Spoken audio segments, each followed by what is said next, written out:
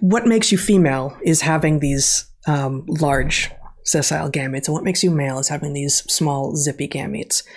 Um, but very often, when humans, especially modern humans, talk about it, um, they talk about being XX or XY, right? They talk about the chromosomes.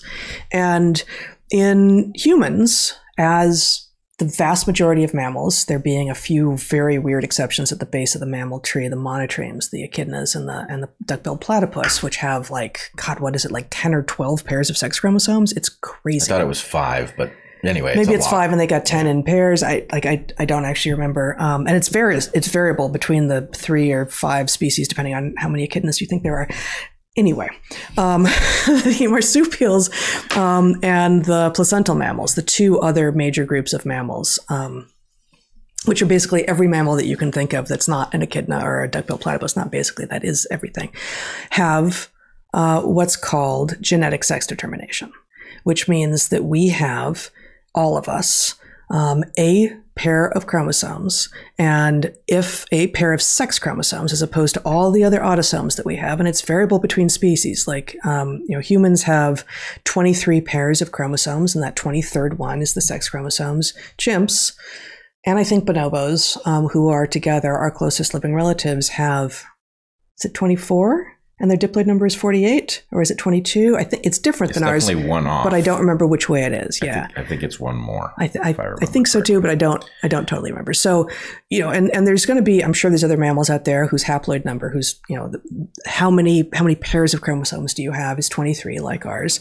um, and um, they aren't going to be as closely related to us as um, as the chimps and bonobos.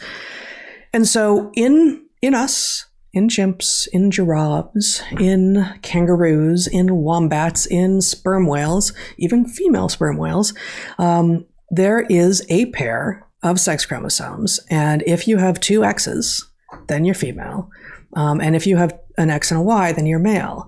But it's not that um, that is what underlyingly makes you female, it's that's what determines your sex. Okay, so in mammals, we have XX determines that you will become female, absent other weird developmental things that might happen. And if you're XY, that that the position at that last set of chromosomes determines what sex you are. There are other species, there are other clades that have um, genetic sex determination, uh, birds famously, but in birds it's the opposite. And so we use um, we use different letters, we use W's and Z's. But whereas in mammals, females are the homogametic sex, meaning we have two two X's as opposed to the heterogametic sex for males, an X and a Y. In birds, uh, females are heterogametic and they have a Y and a Z. And uh, males are homogametic, and they don't. I don't remember, never remember if it's two W's or two Z's, whatever. Um, and that actually has um, some interesting implications for how their ecology plays out. But they still have genetic sex determination. Whereas, and we're just sticking to vertebrates here, there's lots of species of vertebrates that don't have genetic sex determination at all, that don't appear to have anything in their chromosomes that says, aha, got it, I'm going to set you down the path to being male or female. They have some form of environmental sex determination. So, um, in many oviparous species, for instance, that is, um, egg laying species as opposed to viviparous species like us who, who give live birth, you have um, the temperature of the egg at a critical moment in development that determines what sex you will be, which means at the point that that egg is laid, it is still open. You still could become male or female. But any individual that kind of doesn't become one or the other isn't viable, is an evolutionary dead end. And so, just a few examples in tortoises, males develop um, males develop from eggs that were in that critical period at low temperatures, and females at higher temperatures. In many lizards and alligators, it's the opposite. Females develop at the lower temperatures and males at the higher temperatures. And in crocodiles and snapping turtles, both cool and warm temperatures during that critical period during egg development um, turn into females, whereas it's the intermediate temperatures that produce males. So there's all sorts of ways to determine whether or not you, some developing embryo, are going to become male or female. And in species with environmental sex determination, uh, there, you know, things like if you live in a place that is warming, you might suddenly have a population crash because now you've got all females or all males. This is going to be a problem. Whereas for organisms like mammals and birds with genetic sex determination and a few other and several other species as well, um, the the temperature at which we are incubated doesn't seem to matter. And of course, with mammals, we are endotherms and we have viviparity, um, and so we've got this constant internal um, gestational environment. But for for birds who do lay eggs, um, yes, mama and depending on species, papa birds sit on the eggs and keep them warm.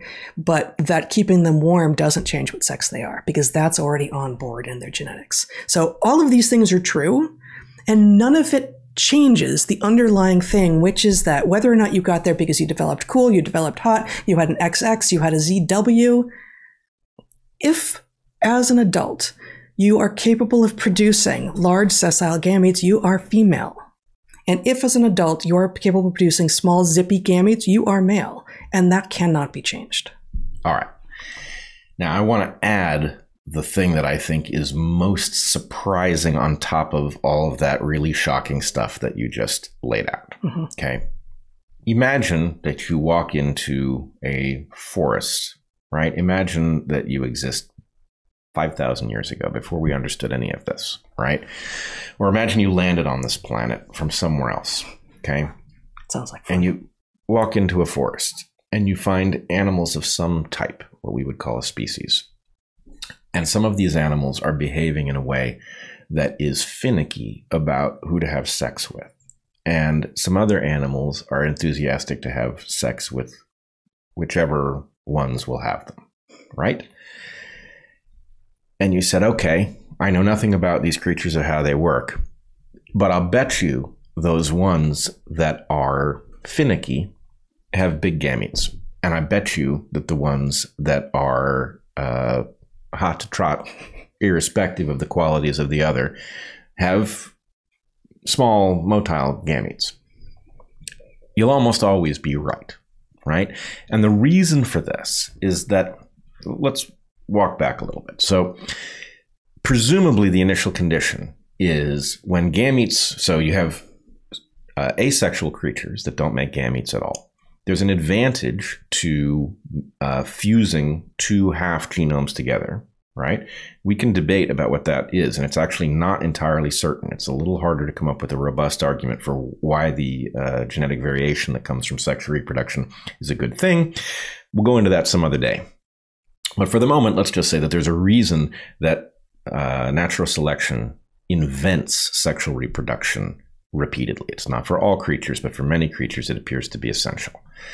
Um, so selection invents this thing. Presumably, when it first does, you get two gametes that are the same size, right? Um, we would call that isogamous gametes. Now, isogamous gametes is a stable equilibrium. Uh, it's an unstable equilibrium, which means that you can't tell which way it's going to go, but it can't stay where it is because as soon as one type of creature starts cheaping out on how much it invests in these gametes. The other one can't cheap out in response. It actually has to overinvest. And so what you see.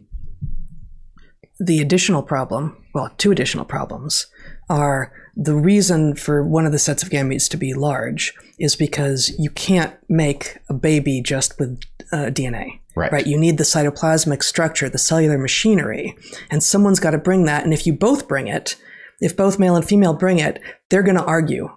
Actually, right? They're going to argue about whose cellular machinery to use.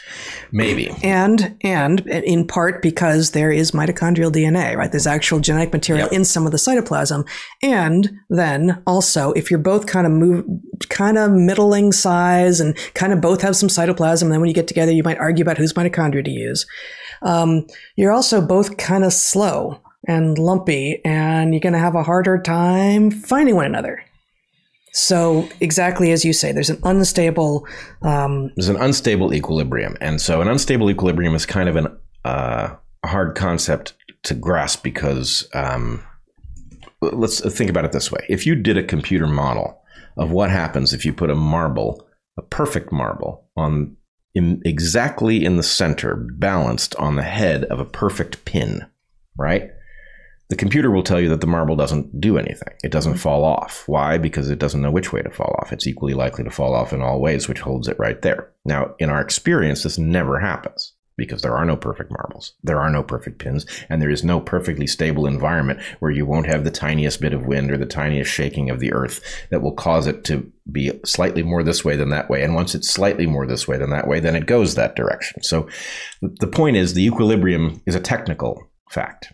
Can I have Zach show Sure. this while you're talking? Sure. So this is uh, a figure from Daly and Wilson's book from the 1980s uh, called "The Evolution of Sex and Behavior," I believe. And this is uh, my computer is playing funny games, um, and it's gonna be it's gonna be small for you guys, but. Um, it, it describes the both the unstable and the stable equilibrium. The unstable equilibrium of isogamy, in which gametes are um, the same size and both have arguments about about mitochondrial DNA and have a hard time finding one another, and the anisogamy, the unequal sized and um, sort of structured gametes um, that results that is a stable equilibrium. All right.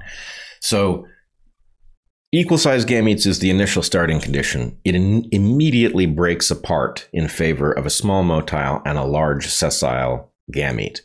But the crazy part is once that happens, and it doesn't matter how many times this process happens where selection favors sexual reproduction, produces equal sized gametes, and then the unstable equilibrium breaks apart and creates one uh, subtype that makes large gametes and one subtype that makes small gametes. Every time that happens, maleness and femaleness follow right that is to say the characteristics that cause the you know the behaviors of these creatures follow because once you're stuck with one of these kind of gametes certain things make sense from the point of view of selection and other things don't make sense and so Well, I guess I'd like for you to be. I, I, I think I want you to correct your language there a little bit. The state of having a small zippy gamete is the state of being male. The state of having a large sessile gamete is the state of being female. The software that follows, the behavior for animals, the behavioral manifestation, the choosiness, the displayiness, the you know, and all of these things that follow are for lack of better terms, perhaps the typically feminine, the typically masculine. It's not the femaleness or the maleness. The femaleness and the maleness exist, and they do not change based on how it is that those organisms will later behave. it, let's put it this way i agree with your correction but it's not even software right because we see it in plants where there is no software right it's the behavior and no, this is this. this you're the one who wants to call it software. I, Well- I'm always the one calling it behavior, and you say software is the more inclusive term that includes plants. because I wouldn't say that plants have a gender. So the where where where we usually get into this is what's the definition of gender, and I say it's the software of sex, right? In a plant, and you know the point I love to make is that even in a plant that is a, a hermaphrodite that has both male and female, hermaphrodite. right, pr- that produces both. Actually, I don't think there are sequential hermaphrodites in plants, are there? Uh, kind of, at, at least kind of, because there are plants that avoid self fertilization by the gametes maturing. So it, it's Oh, a different, it's, but but on a sort of it's short very time different scale. than the way animals do it, but a very short time scale and Yeah. like per flower. yeah, yeah. Um, Sorry. but anyway, the point is, even in a flower that has both male and female parts, right? The female parts are reluctant about sex, and they put the male parts through a test, right? A long corolla tube that the pollen grains have to grow down in order to reach the eggs. Whereas the pollen grains are totally hot to trot, and they are not discriminating, right? So in a plant that is wind dispersed, it'll produce lots of pollen. It lands anywhere, it tries to fertilize whatever it lands on.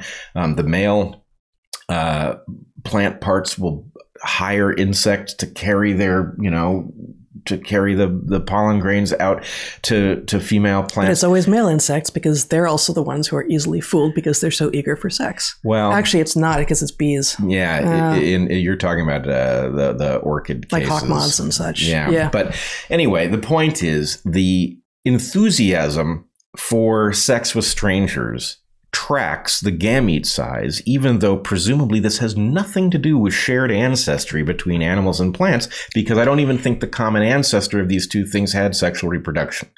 Right? Mm, No, no, they they they probably they did. Um, so sex evolves. Um, boy, I'm gonna have to. I'd, I'd have to go back and and It's to be sure. some yeast like colonial something or other, right? Um, Well, I mean, it evolves a few, sex evolves a few times. Yep. But in the lineage that, you know, when I say definitely back 500 million years, Yep. um, we can track that and maybe up to 2 billion years. There's, you know, there's a lot that happens in that 1 to 2 billion years space. And I'm not sure how precise we can be about exactly when that was and therefore when uh, in the branching between plants and animals that was. I, I'm actually not sure. Okay. Yeah. But the overarching point on which I know we agree Yeah. is that it is the constraints of the mode of reproduction that cause the behavior to become what it is, which then in creatures like us becomes a software program that uh, is gender. But, Yeah. but the point is, the behavior precedes there being any software involved at all. It's just a set of strategies that make sense if you are the small gamete producing type versus a set of strategies that make sense if you are the large gamete producing type, which means that male and female have a meaning in the universe beyond something beyond the gametes. It's the strategy that follows from the gametes, right? This couldn't have less to do with people, right? And people are, in, in a sense, interesting because uh, In the, sense. the software is partially sex role reversed in us, right? A, both males and females are choosy, right? That exists in other creatures, but we are asymmetrically choosy. We choose for different things, which is pretty interesting. Um, and the We ornamented both display, yeah. yeah, the ornamented sex is female, right? Typically, if you find a displaying bird or spider or something like this, that's the male, right? And so the it's not that these things don't get changed around, but the basic logic of choosiness isn't uh, inverted. And even as the software changes and the rules change, and even if they didn't, we're just talking about averages, and there's plenty of masculine acting women and feminine acting men. It does not change the underlying sex that they are. It does not. It does not. Now, the last point I would make is And then I want to talk about oikos a little bit, just a little bit more on this topic. All right. Yeah.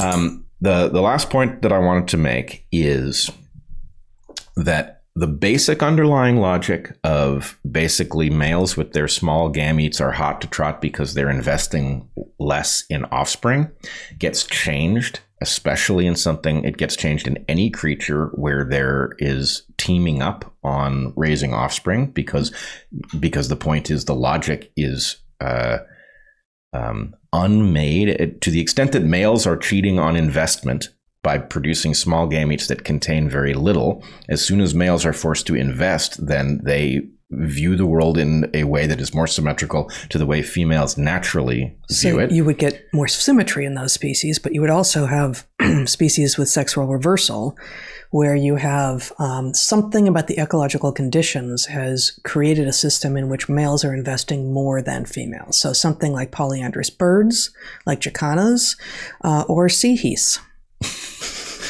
Sea which is our family term for seahorses, um, where males are they do produce the smaller gametes, hence they're being males, but they engage in the pregnancy. They and they really. I mean, I actually wrote a piece on my Substack about this, um, and I, I had not I had not known to what degree we understood the level of um, analogy to uh, to mammalian pregnancy that male seahorses have. I mean, the the the cardiovascular and I believe neurological, but certainly cardiovascular integration of the fetus um, with the father's body is extraordinary in seahorses. They really, Really? yeah, it's it's they are actually pregnant, and obviously, you know, the egg didn't come from them, so they brought this in, but then it embeds in a way that is extraordinarily like pregnancy. All right, so Yeah. the the way you'll understand the point if this But they're makes, still males. if this makes sense to you. there are things about the interaction between the baby seahorses and their father, who is male because of the gametes that he produces, Mm-hmm. that are beyond what you will understand, that are beyond what we understand, that are likely beyond what we will ever scientifically understand about the system. However, the um, underlying logic of the system is relatively easy to understand, which is if you're gonna invest, you're gonna be choosy, right? Yes. That's the driving force. And the point Yes. is, it takes no complexity to see it, right? Yeah, and just just think that through. Just think like, okay, if I'm going to invest, am I going to take everything that comes at me in any context at all? Like, no, if you're going to invest, you're going to be choosy. Right. There it is. And so, to the extent that you have sophists arguing that, um, you know, it's the patriarchy that uh, caused women to be reluctant about casual sex, just think it through for yourself. No frickin' way. Right. Yep. The fact is, if having sex is going to stick you with a an offspring that you're going to carry with you for nine months, give birth to, and then have to take care of very intensively for, you know, six, seven, eight years. And then, you know, to some extent until it's 15, 16, 17 years of age, right? You don't want to produce such a thing willy nilly, and you don't want to produce it without an agreement uh, to co-parent if such an agreement is a possibility. So hence females will be coy about sex. Yeah. Right? That has nothing to do with the patriarchy, right? In fact, the patriarchy protects women because, you know, both men and women have an interest in the women in their group being protected from men who would inseminate them and run off. Um, there's plenty of places where the patriarchy, which is not a word I tend to use, um, does not protect women at all or very well. And one of one of those places is another boy I heard from. Um, uh, is with what's happening now with regard to our apparent inability to understand what women are, which is thus allowing men to claim that they're women and to beat women in sports, which is a much you know it's it, it's it's both important and not nearly as important as the fact that once you have that, then you start letting men into women's prisons and uh, and you know and, and everywhere else like all the dominoes fall.